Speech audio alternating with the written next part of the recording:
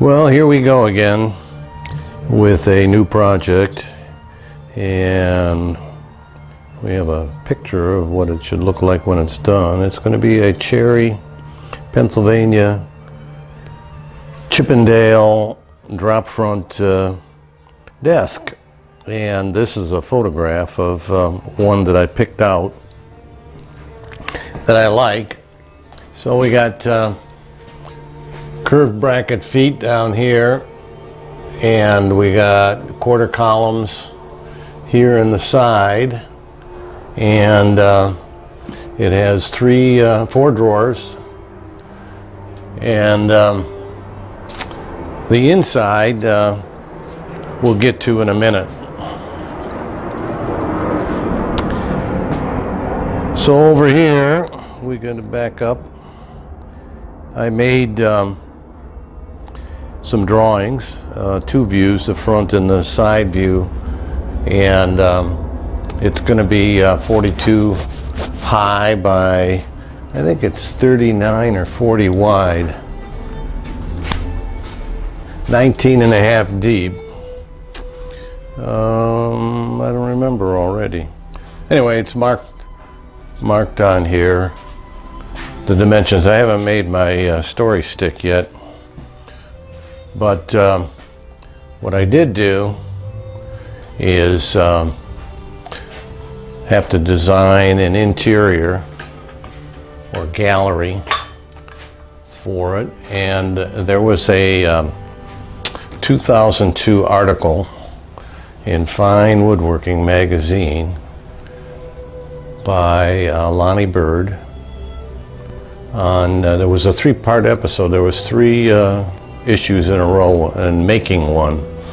And um, I really liked the uh, views that there were of the gallery uh, for this uh, particular, it's a secretary, but uh, it's essentially a desk below with the cabinet above.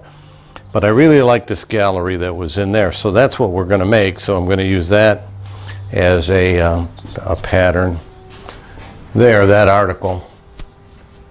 And then um, I decided that I would uh, make a prototype.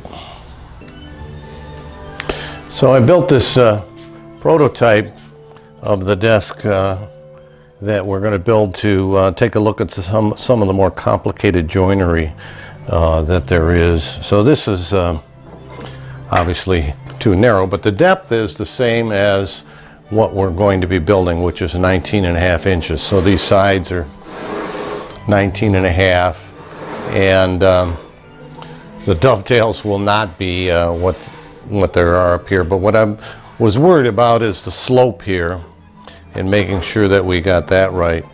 Now, uh, Jeff Headley has a, had a has a technique that he um, kind of promotes in this Winchester desk of his, and um, so you have to create a vertical here a quarter inch by quarter inch or inch and a quarter by inch and a quarter for the quarter columns which go here. So the joint making that join up here there's a, uh, a 45 degree cut under there which is part of the writing surface. And you can see the angle here. So that slips in there. And then this would be screwed and glued uh, on the side there. O over here you'd, you'd have another vertical tenon in here so that the lopers would slide in and out there. This is the quarter column that'll run in and out. Does, obviously doesn't have the flutes in it yet. But here's the most complicated piece. So what you have here is a capital and then the end of the missing inch and a quarter piece that runs along here. So it's, it's shaped to fit into that area there. You can see it when the, when it's open, it's, it's part of the side here, and this slope is the, the slope that's all along there. So uh, and it fits like right in there. So when I make this, what I'm going to do, because you have to, you'll have, there'll be some material here, so I'm going to make it full width, which is the 19 and a half inches, I think. And then I'm going to cut this piece off, save it, and um, likewise I'll do that on the other side and then add two more pieces because you end up gluing it together to make four parts to it uh, with craft paper in between all glued up. You then turn the uh, capital that's on there, leaving this part square. I've got a couple more of them here. This is what they look like to start with. So this is what when they were glued up.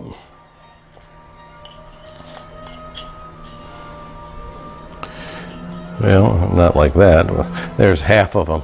So that's how what it looked like, only there's two more missing. Here's the third one.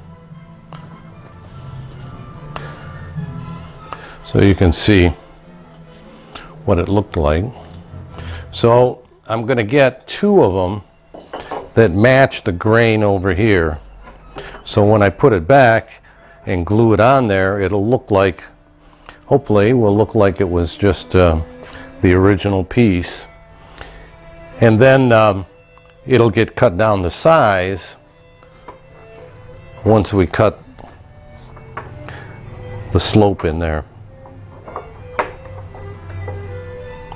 And then everything should be hunky-dory. So that's a bit complicated and I wanted to model it uh, first uh, before we started with big pieces. It's going to be made out of cherry. I've got the cherry already um, that I had from Irian. So uh, I'm going to make my story stick now and uh, I think we'll, we'll be ready to go.